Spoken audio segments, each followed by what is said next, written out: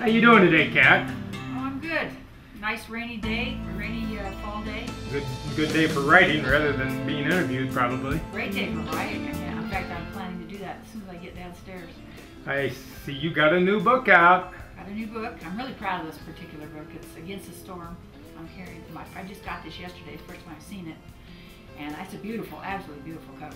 Number what in the Against series? This is number four, and the story behind this is that I wrote the Rains brothers. I got this idea for for three books about three brothers, and I had no real idea of going further with the series. But then, when I was writing the third book, which was Against the Law, I um, I had these other characters that were in, necessary in order to, to solve the the uh, plot. And during writing about the other guys, I, I just got hooked. And Trace was one of the men. He's an army ex-army ranger, and he he was he came to help his friend to uh, uh, find this little girl that was abducted and taken to Mexico.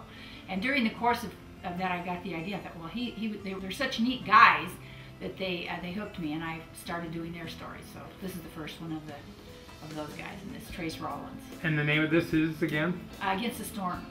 And this started out as uh, as the Rains of Wind Canyon, and kind of be, and they were all named with against, as I recall. Yeah, we had against the wind, against the law, against no, against the fire, and then against the law.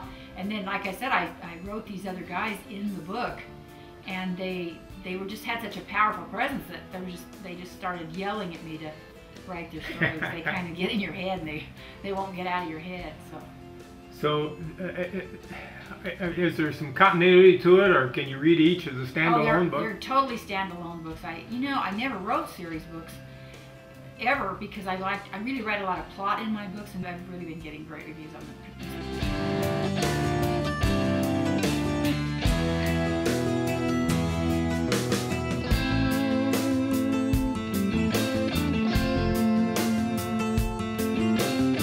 Not only that, you've been on the New York Times. I was on the, on the New York Times number 13 on uh, Against the Law, so that was that was exciting because that's the highest I've been. And the extended list. I've been on the extended New York Times 30 top 35, probably probably 25 books, but getting on the top, you know, getting in that top 15, eh, that's where all the big guys are, and you know, that's James Patterson and Baldacci and all these guys. So. so this book's in print, so you must have you must be going somewhere else since then. This book's in print. I done Johnny Riggs, who was also on the same adventure with Dev Rains, and I've got uh, and Jake Cantrell. Both of those guys have their own stories. I'm just finishing up with them, and they'll be out very soon. And those titles are. Uh, against the Night and Against the Sun are the other two in the series, but this is the fourth, so they'll be those three guys all have have their books. So Against the Storm, Trace's story, set in Houston, which has been an interesting city because he's kind of an urban cowboy. He's a cowboy in the sense that he wears western clothes a lot and he's a was raised really on a ranch there in Texas. But he lives in the city, he's a detective now, so he he's pretty much in town, but you don't take that out of a person, you know, that's kind of in his heritage. Country boy forever. Country boy forever, exactly. well, we wish you the very best of luck with this. Uh, we look to see it out when?